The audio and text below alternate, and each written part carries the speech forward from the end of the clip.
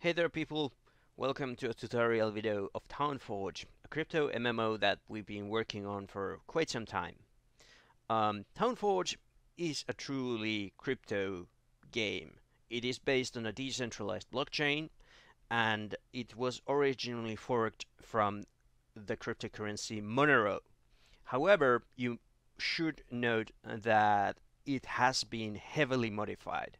So the characteristics you would typically attribute to Monero do not necessarily apply to Townforge, or the ones that you observe of the game Townforge and the cryptocurrency associated to it don't apply to Monero. Pretty self-evident.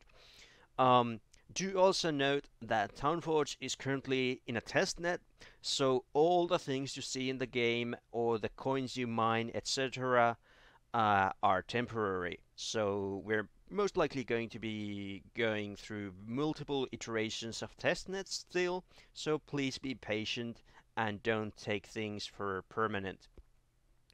Other than that, disclaimer level stuff, I am Suksu, I am the co-designer of uh, Townforge, however, a lion's share of the work, meaning most of the work, uh, has been done by moneromooo in terms of design and implementation.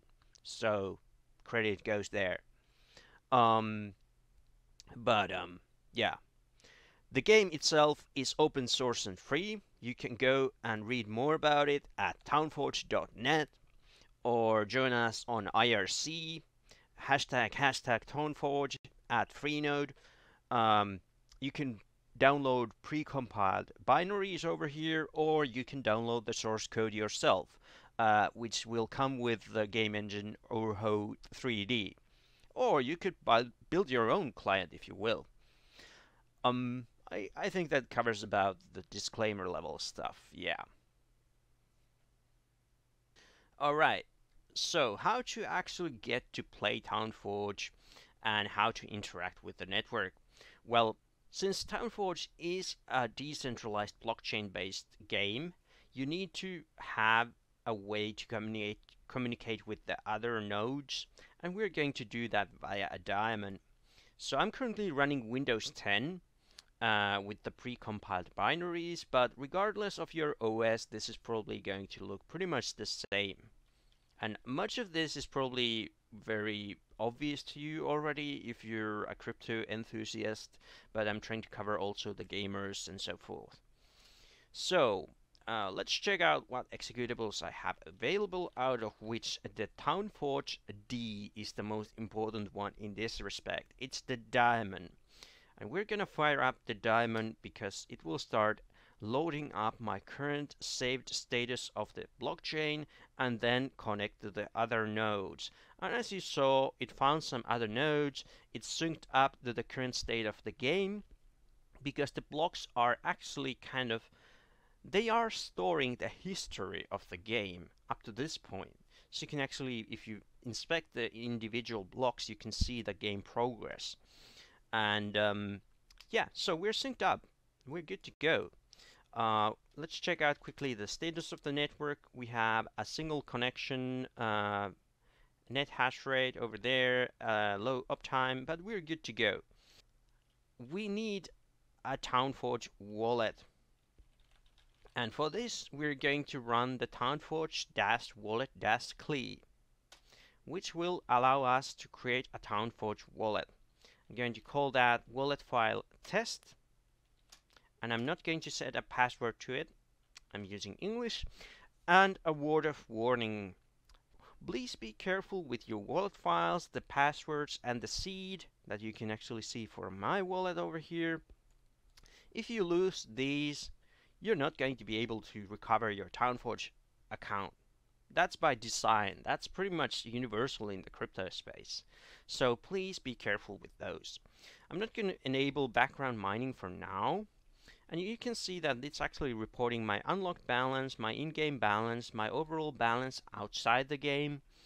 Um, and I want to start mining Townforge gold as we talk of it. It's the Townforge currency, the cryptocurrency associated with the game. And I can see my public address over here and I'm I want to start mining the cryptocurrency there. I'm going to put it over here.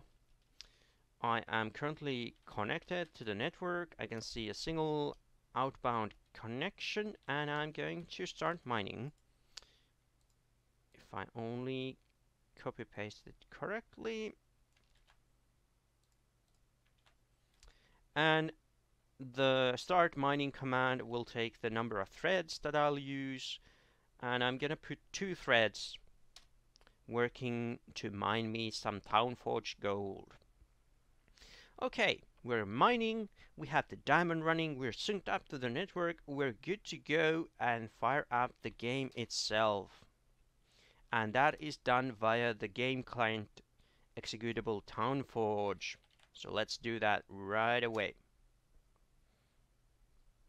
We see our lovely splash screen and we're ready to go. At least almost. As you can see, uh, we are not yet logged into a particular game account and that will be done via a wallet. Alright, so what I just did, I loaded my main wallet and I have in-game money, I have out-game money and I've deposited money and I can withdraw it at will. But please note that all in-game actions are public so if I go and inspect my own history in the game, I can notice that I've created at the block height 587 I've created my initial account with 5000 Townforge gold. I've received more gold afterwards by depositing. I minted some coins. I started buying uh, land etc I gained some badges which are kind of equivalent to achievements in, in most games and, and so forth. And then I started gaining money. But I'm going to kind of start fresh by inviting myself into the game because it's going to take a while to mine coins with this hash rate at the moment. I'm currently mining with one kilo hashes per second so that's relatively small amount of hashes that I'm solving per second so I'm not expecting to find many blocks immediately. To make this a little bit easier, I'm going to invite myself into the game. So let's say I want to create an account or I'm inviting my friend to the game and I'm giving him 2000 gold. I create a unique code for doing that and I have my test wallet which doesn't at the moment have any balance to it. I'm instead going to accept an invitation. Once I discover blocks, I'm mining this particular wallet, so that money would uh, eventually mature and appear over here in wallet balance. However, I will accept the invitation from the kind person Success School and enter the game as Mr. Foo Bar. Now our account creation has gone into the transaction pool and a cool feature we can actually explore the current uh, commands in the transaction pool. We have an account creation we have a chat message we have two commands for buying land and another chat message. This was actually sent by me and this is by somebody else. Now we just need to wait for our account creation to be mined and since the target time for block discovery is one minute typically this would take well ideally less than a minute at this point because we don't know if somebody's already about to discover a block but let's see. Yep that sound is an indication that a block was discovered. Hopefully our command for accepting the invitation was picked up by that miner. Appears that it wasn't. So let's instead showcase some of the features of the game. As you can see, I'm kind of grabbing the camera with my right mouse button. That's kind of a key interaction with the game. Otherwise, it's using pretty standard FPS buttons. WASD for movement and shift for sprinting. I'm pressing F because I want to go into the flying mode. This is pretty much inspired by Minecraft's uh, creative mode. Okay, and we just got mined into the game. Player Fubar has entered the game. And as you can see, I sent a chat message, ProRide sent a chat message, and Fubar, which is us now, with this account that we've logged in with, is in the game. But we only have white chat messages available because of our low level. Hello, I am a test player account. Pleasure to meet you all.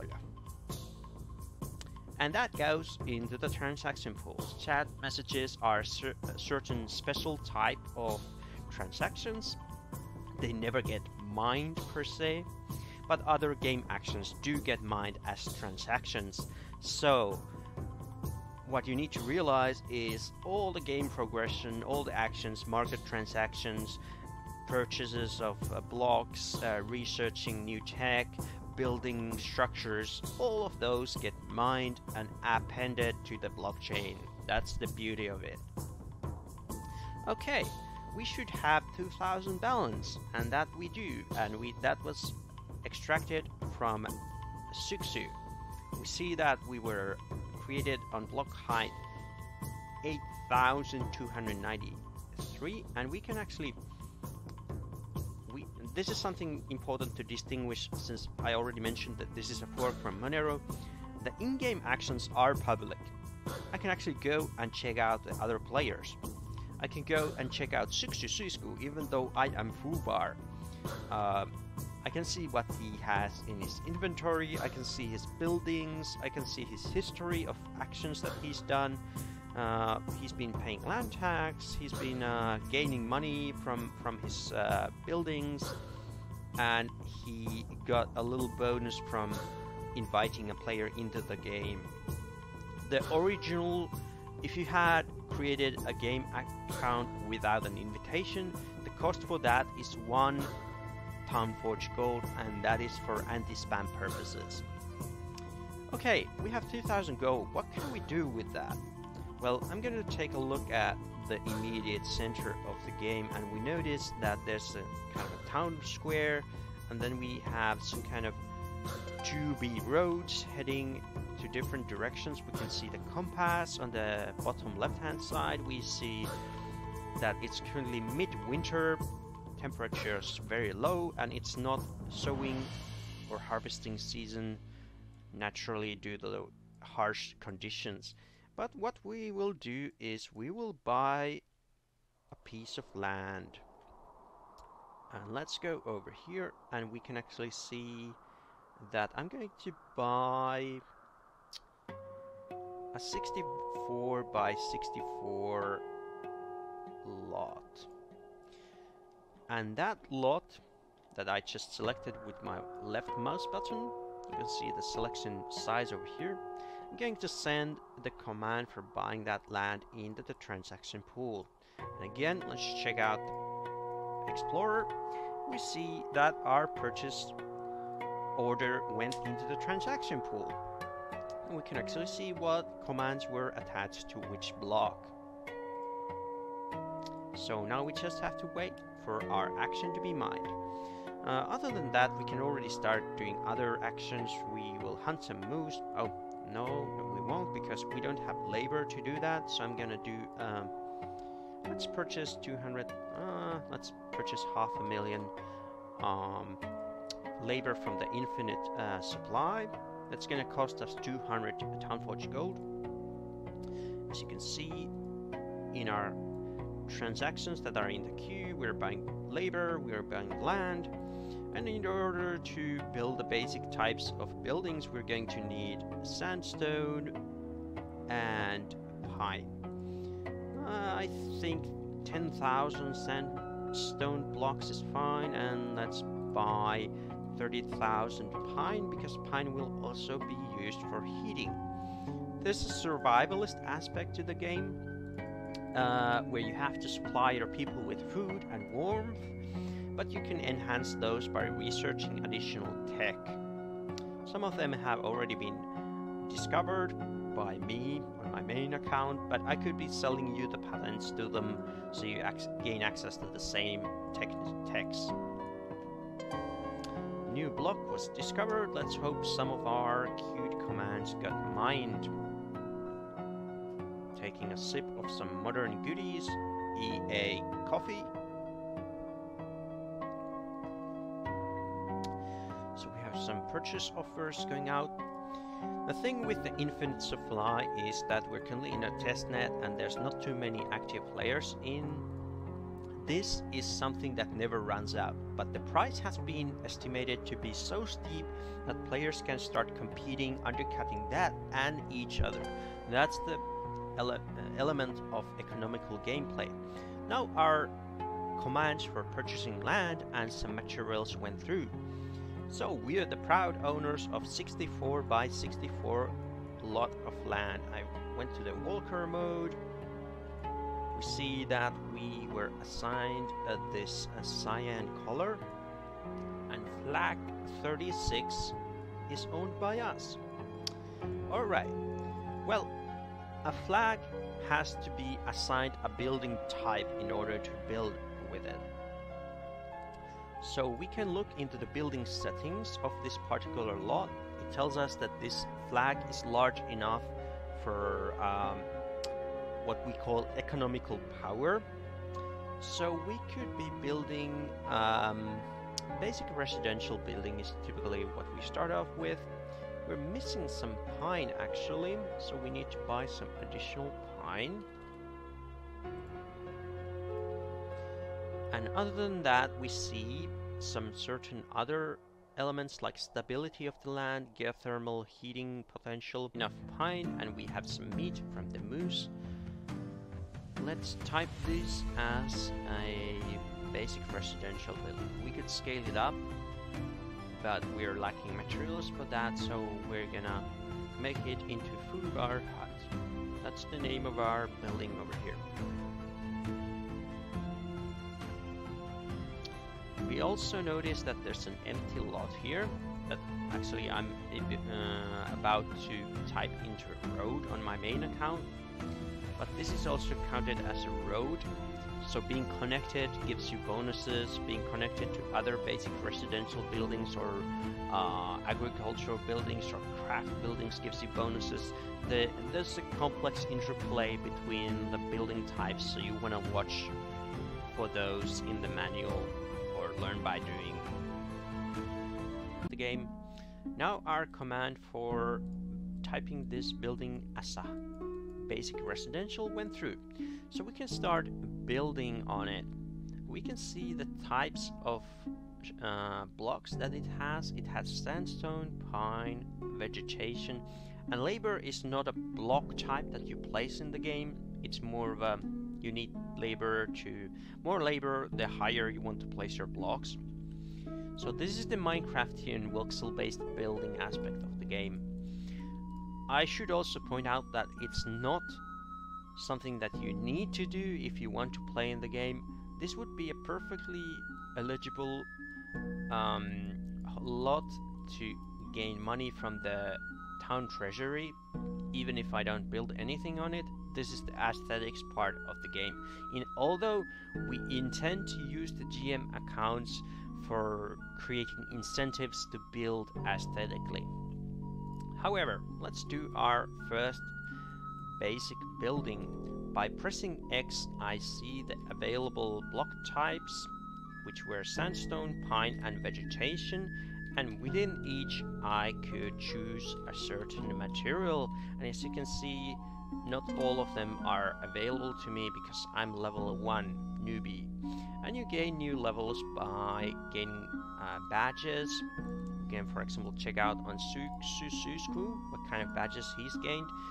Um, from the number of buildings, he's got a bronze badge for builder, experimenter, the various number of different building types he's had uh, from hoarder, he's got the gold badge.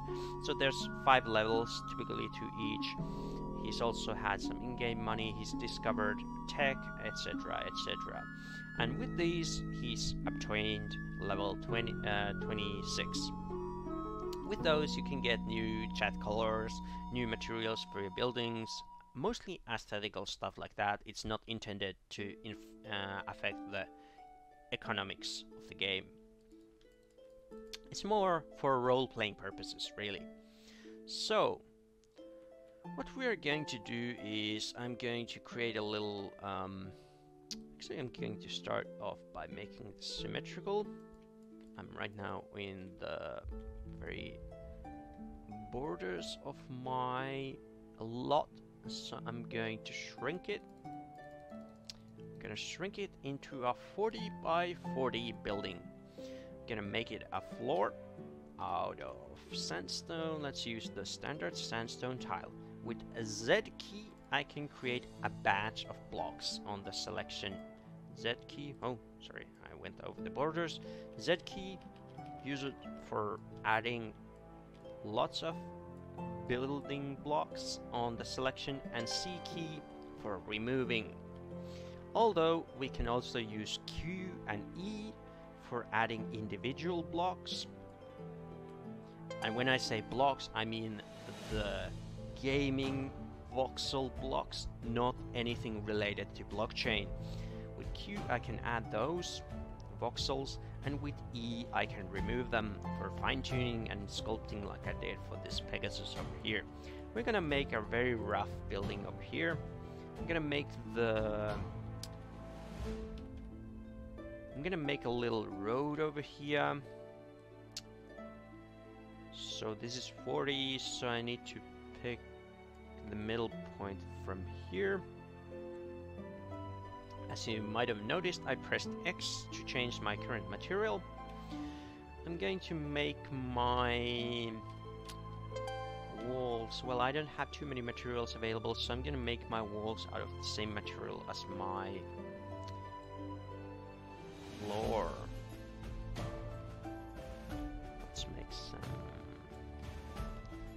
Walls to our building.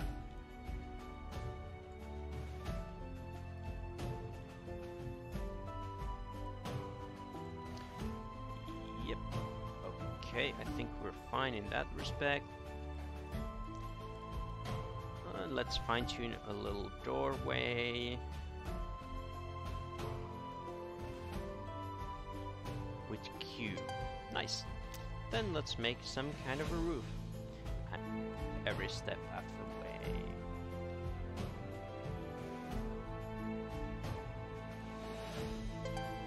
way. Our little building is ready just went through the floor of the world. But it would be nice to have some windows, so let's cut out a couple windows. So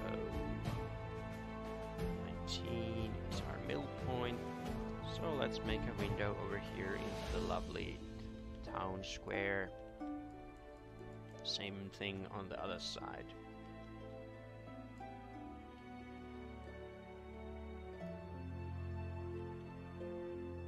Oh, I might have not used the same height. One, two, three, four. One, two, three, four. Oh, I did.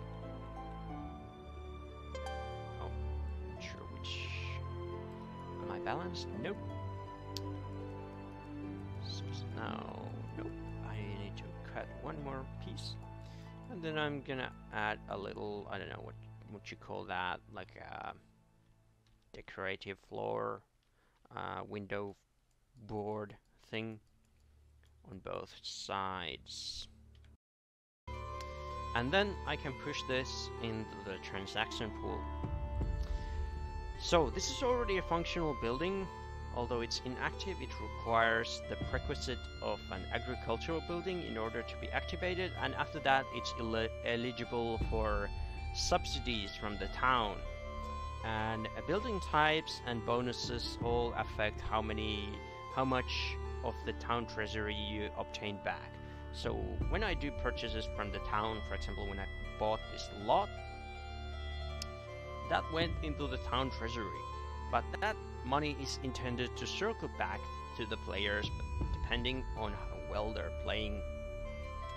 So, Fubar is heavily looking into he wants money from his basic residential hut. Uh, now we should be seeing plenty of building commands in the transaction pool. That's the building being erected one slice at a time. So all the horizontal slices are one transaction. And we see that the first slice of the building just got mined and the second one, as you can see, the target of one block per minute is just an approximation, so it might change. Alright, our building's uh, getting there. It will be mined and then it will look as exactly when I had it on the planning stage. Okay, we can already go around and walk into our building and it will be appearing bit by bit. Well, that pretty much covers the basics of the game. Um, if you have any questions, do join us on IRC. There's forums, we have Reddit, Twitter, Discord, all of those. Although, depending on how things go, more or less, uh, I think IRC is our main channel. I hope you enjoyed Townforge, and I hope to see you in game. If you have any questions, please don't hesitate to approach me or any of the others who are actively trying to build this open source community driven effort.